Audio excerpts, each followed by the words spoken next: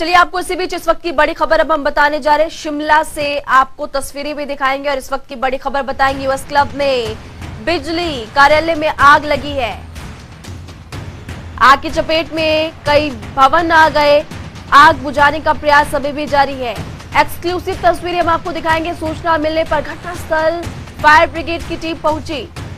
आग पर काबू पाने की कोशिश फ़िलहाल जारी है।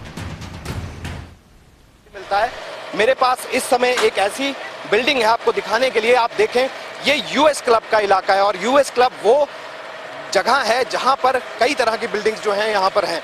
कई केंद्रीय कार्यालय जो हैं वो यहाँ पर हैं और इसके साथ साथ जो सरकारी कार्यालय हैं, हिमाचल प्रदेश के वो हैं रेजिडेंशियल इलाका है पूरी तरह से और ये जो बिल्डिंग आप इस समय तस्वीरों में देख रहे हैं, पूरी तरह से आग बुझाने की कोशिश यहाँ पर की जा रही है और ये बताया जा रहा है कि 11 बजे के आसपास इस बिल्डिंग में आग लगनी शुरू हुई थी और उसके बाद से अब तकरीबन एक बज रहा है और अभी भी जो आग है उसको बुझाने का काम यहाँ पर लगातार जारी है।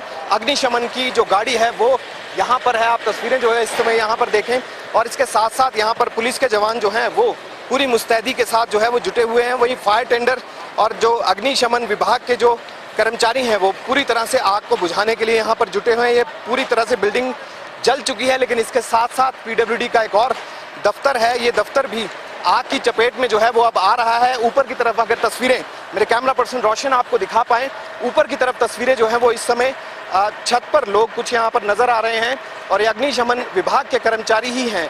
जो छत को उखाड़ने का काम कर रहे हैं ऊपर की तरफ़ और इसके बिल्कुल साथ लगती है बिल्डिंग है और यहाँ पर भी आगजनी जो है वो अब पहुँच चुकी है। आग इतनी तेज़ी से फैल रही है कि इस पर काबू पाना भी बड़ी मशक्कत का सामना जो है वो यहाँ पर लोगों को कर आ, करना पड़ रहा है। लेकिन इसके साथ साथ अफरा तफरी का माहौल जो है वो चारों तरफ़ देखने के लिए मिल रहा है किस तरह से फायर टेंडर जो यहाँ पर आग बुझाने का काम जो है वो लगातार कर रहे हैं।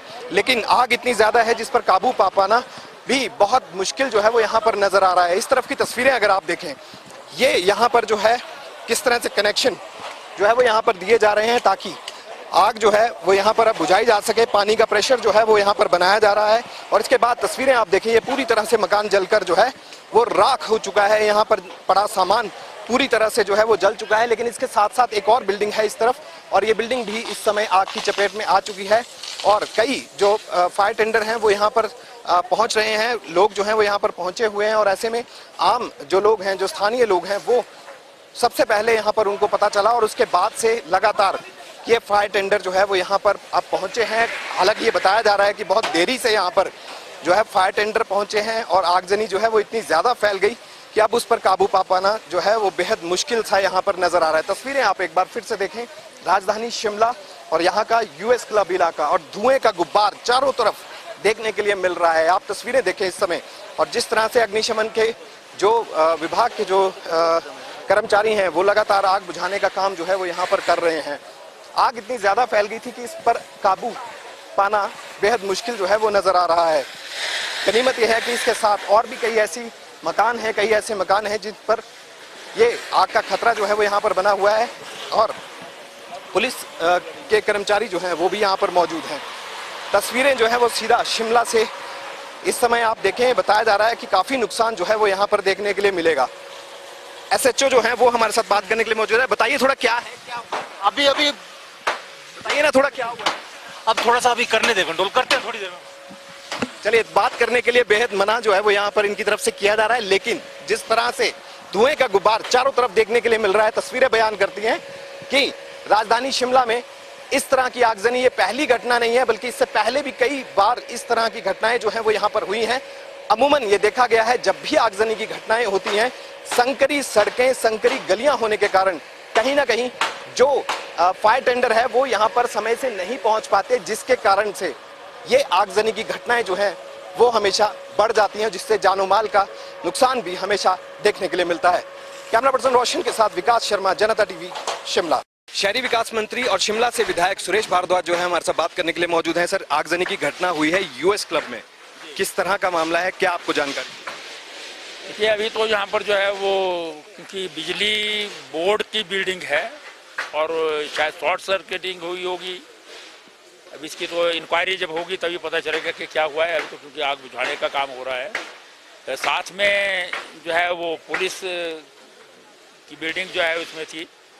उसमें कुछ लोग जो है जवान बैठे हुए थे, पर सारे जो है वो से बच गए हैं, कोई रेजिडेंशल नहीं है इसमें, है।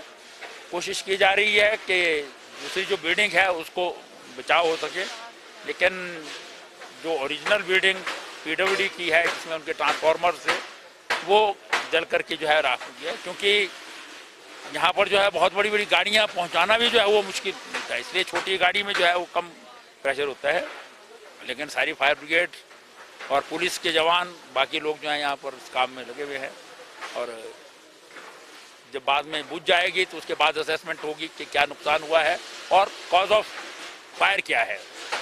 कहा जा रहा है कि देरी से यहाँ पर जो है फायर टेंडर पहुँचे हैं और 11 बजे आग लगी थी और साढ़े बारह बजे के आसपास जो है फायर टेंडर अब ये मालूम पड़ेगा क्योंकि मुझे भी जो है वो 12 बजे के बाद ही सूचना मिली है। तो लेकिन फायर के टेंडर बड़ी गाड़ियाँ नहीं आ पाएगी बड़ी गाड़ियाँ जो है जो मुझे बताया गया है कि जो बड़ी गाड़ी है वो इस रोड पर पहुँच नहीं पाई वो फंस गई गाड़ी गाड़ियाँ तो छोटी गाड़ियाँ जो है वो आ गई थी उसे जो है हाँ, उसे करना मुश्किल काम था। बहुत शुक्रिया। जी। तो ये थे सुरेश भारद्वाज साफ़ तौर पर इनका कहना है कि आगजनी की घटना जो है वो यहाँ पर हुई है और ऐसे में जानो माल का नुकसान कम से कम हो इसको बनाने रखने के लिए भी तैयारी जो है वो युद्ध स्तर पर यहाँ पर की जा रही है। वहीं जिस तरह से आगजनी की घटना ये यूएस क्लब में जो कि ऐतिहासिक जगह है और यहाँ पर कई तरह के मकान जो हैं वो एक दूसरे से सटे हुए होते हैं और ज़्यादातर कार्यालय ही यहाँ पर हैं। ऐसे में आगजनी की घटना पर काबू पा पाना भी बेहद मुश्किल नज़र आ रहा है। कैमरा पर्सन रोशन के साथ विकास शर्मा, जनता टीवी, शिमला।